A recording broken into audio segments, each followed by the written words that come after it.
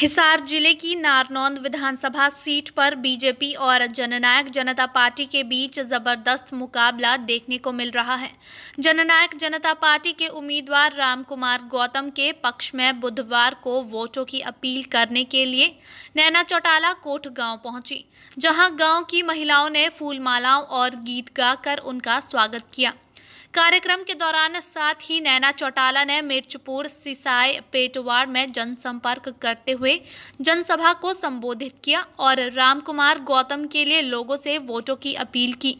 उन्होंने कहा कि आप ज़्यादा से ज़्यादा वोट जेजेपी उम्मीदवार रामकुमार गौतम को देकर विजयी बनाएँ। साथ ही उन्होंने बताया कि इतनी रात को भी युवाओं का जोश आप देख सकते हैं, जो कि जीत की निशानी है।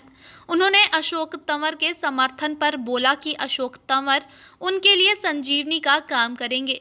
साथ ही उन्होंने बीजेपी प्रत्याशी कैप्टन अभिमन्यु पर भी तीखा हमला बोला। उनका कहना है कि जनता ने मन बना लिया है और अब की बार जेजेपी को समर्थन दे के जेजेपी के उम्मीदवार रामकुमार गौतम को विजयी करेंगे। चलिए आपको सुनाते हैं क्या कुछ कहा नैना चौटाला ने। अच्छा चल रहा है, बहुत अपार जन समर्थन मैं कहूँगी। पिछले एक हफ़्ते से जननायक जनता पार्टी जो है, वो राज बनाने की ओर अग्रसर है। ये जीत की निशानी है ना, जहाँ लोग इंतज़ार करने लगे, समझो आप आगे बढ़ रहे हो।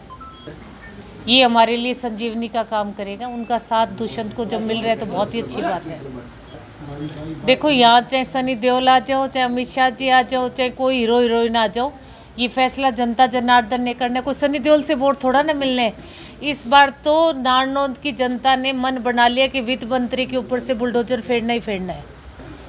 देखो, वो जनता जनार्दन का काम है। वोटों की परसेंटेज का नाम मैं मेरा बताती ना मैं दुष्यंत का बताती ना मैं दादा का बताऊँगी। ये लोग देंगे, पर जीत के ज़रूर विधानसभा पहुँचेंगे।